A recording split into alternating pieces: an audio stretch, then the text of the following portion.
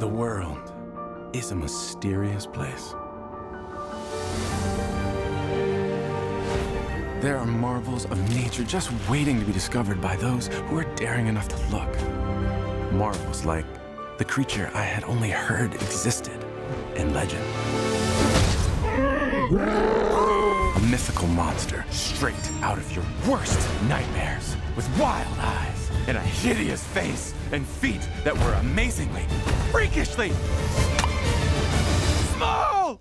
It's a terrifying creature hmm. with perfect white teeth and breath that just smells all minty fresh. Ah. And the only hair that has on its entire body is on the top of its head! Ah.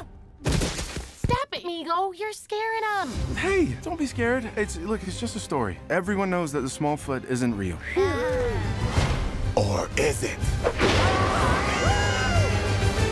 Oh, that's nice. Real nice. Way to scar him for life.